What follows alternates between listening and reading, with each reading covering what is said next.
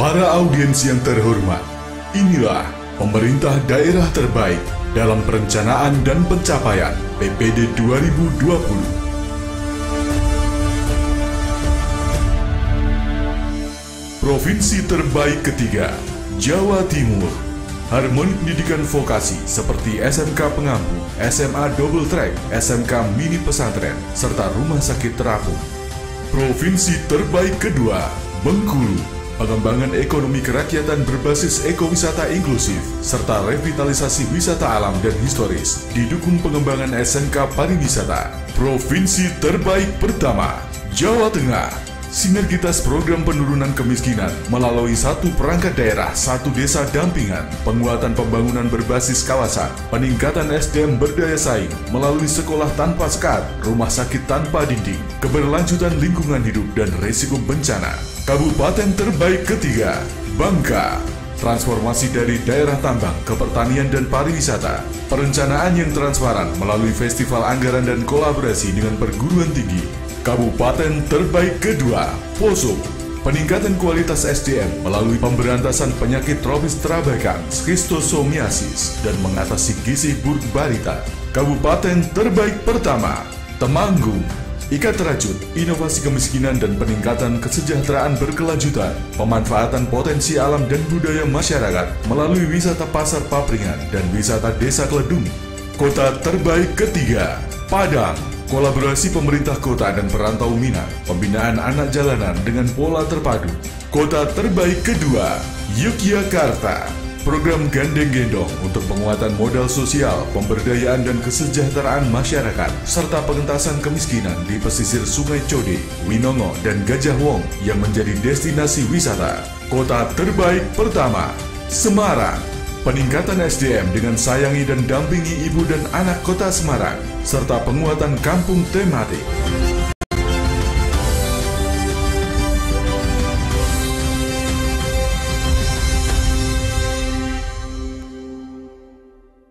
Penghargaan pembangunan daerah adalah evaluasi kreatif dalam bentuk apresiasi yang diberikan pemerintahan pusat kepada pemerintah daerah atas prestasinya dalam perencanaan dan pelaksanaan pembangunan.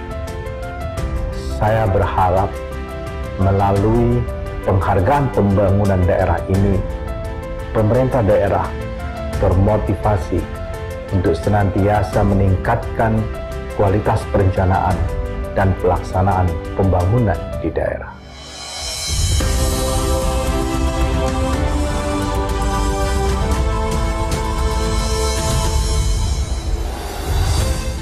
Kementerian Perencanaan Pembangunan Nasional membentuk tim penilai independen dari akademisi, profesional, jurnalis, dan para pakar dari berbagai disiplin ilmu.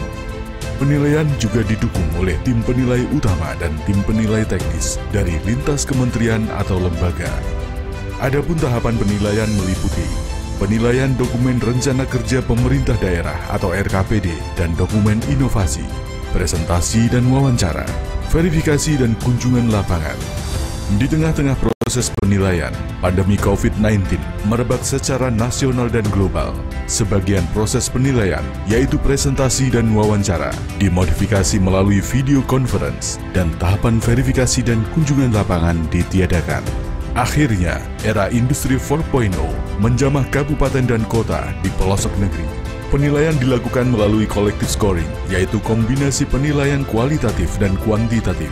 Adapun empat aspek penilaian meliputi proses penyusunan dokumen perencanaan, kualitas dokumen perencanaan, inovasi pembangunan, dan pencapaian pembangunan. Penghargaan pembangunan daerah ini lebih dari sekedar kompetisi untuk piagam penghargaan, dana insentif daerah, atau penguatan kapasitas SDM daerah. Namun seiring perjalanannya, PPD telah menjadi kepingan mozaik dalam narasi pembangunan bernegara. Selain sebagai stimulan pembangunan di daerah, PPD juga menularkan gairah pemerintah daerah dalam beradu gagasan dan menciptakan inovasi untuk menjadi yang terbaik. Pemerintah daerah ini juga dermawan untuk sharing praktik-praktik cerdas yang telah dilakukan kepada daerah lainnya